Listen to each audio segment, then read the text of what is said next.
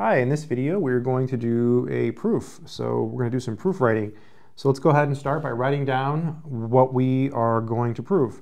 So prove that if x is a positive real number, so if x is a positive, I love the sound of the pencil, real number, then we have that x plus 1 over x is greater than or equal to 2. So this is what we have to prove.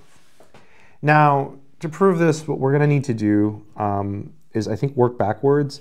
So what I'm thinking is we're going to start with this and do some scratch work and see if we can find an equivalent algebraic expression and then start from that. So proof. So this is the scratch work.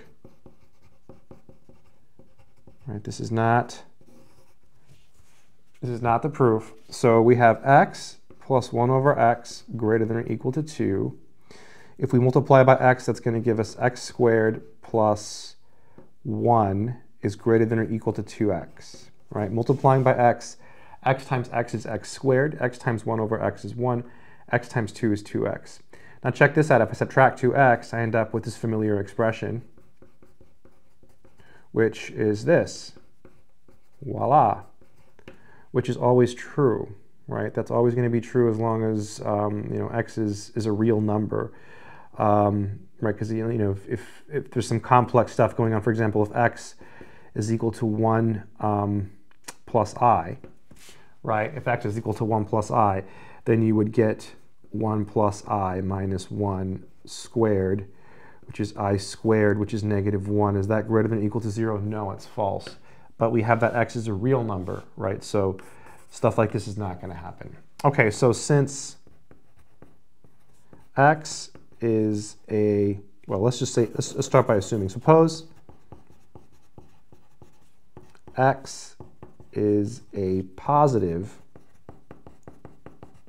real number. Let's start by saying that. Then, because it's a, it's, it's a real number,